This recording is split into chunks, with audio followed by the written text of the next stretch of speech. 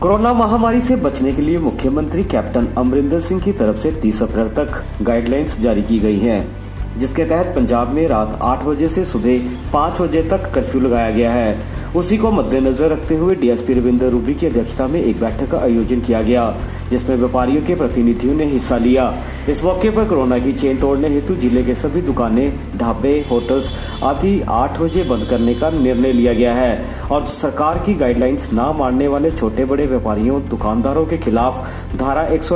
व दो के तहत मामला दर्ज किया जाएगा ਅੱਜ ਦੀ ਜਿਹੜੀ ਮੀਟਿੰਗ ਹੈ ਅਸੀਂ ਵਪਾਰ ਵਪਾਰੀਆਂ ਨਾਲ ਕੀਤੀ ਹੈ ਸ਼ਹਿਰ ਦੇ ਦੁਕਾਨਦਾਰਾਂ ਨਾਲ ਕੀਤੀ ਹੈ ਇਸ ਸੰਬੰਧੀ ਸਾਡੇ ਅ, ਮਾਨਯੋਗ ਅ, ਡਿਪਟੀ ਕਮਿਸ਼ਨਰ ਸਾਹਿਬ ਤੇ ਮਾਨਯੋਗ ਐਸਐਸਪੀ ਸਾਹਿਬ ਅ, ਦੀਆਂ ਹਦਾਇਤਾਂ ਸਨ ਕਿ ਤੁਸੀਂ ਆਪਣੇ ਇਲਾਕੇ ਵਿੱਚ ਵਪਾਰੀ ਵਰਗ ਨਾਲ ਜ਼ਰੂਰ ਮੀਟਿੰਗਾਂ ਕਰੋ ਤੇ ਉਹਨਾਂ ਨੂੰ ਅਵੇਅਰ ਕਰੋ ਕਿ ਇਸ ਮਹਾਮਾਰੀ ਤੋਂ ਬਚਾਓ ਲਈ, ਬਚਣ ਲਈ ਸਿਰਫ ਤੇ ਸਿਰਫ ਅਸੀਂ ਕੋਵਿਡ ਦੀਆਂ ਜਿਹੜੀਆਂ ਹਦਾਇਤਾਂ ਦੀ ਪਾਲਣਾ ਕਰਾਂਗੇ ਤੇ ਤਾਂ ਹੀ ਸਾਡਾ ਬਚਾਅ ਆ ਸੋਸ਼ਲ ਡਿਸਟੈਂਸਿੰਗ ਰੱਖੀ ਜਾਵੇ ਮਾਸਕ ਲਗਾਏ ਜਾਣ, ਹੱਥਾਂ ਨੂੰ ਵਾਰ-ਵਾਰ ਧੋਤਾ ਜਾਵੇ ਤੇ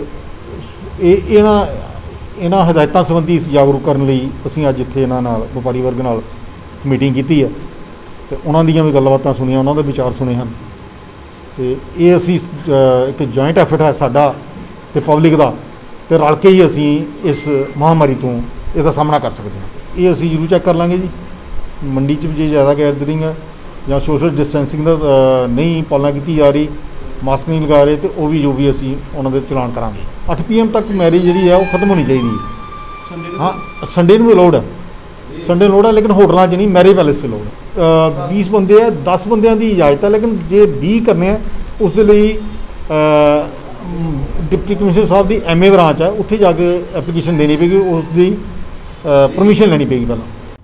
वीडियो जर्नलिस्ट अभिषेक भारद्वाज के साथ अजय सैनी की रिपोर्ट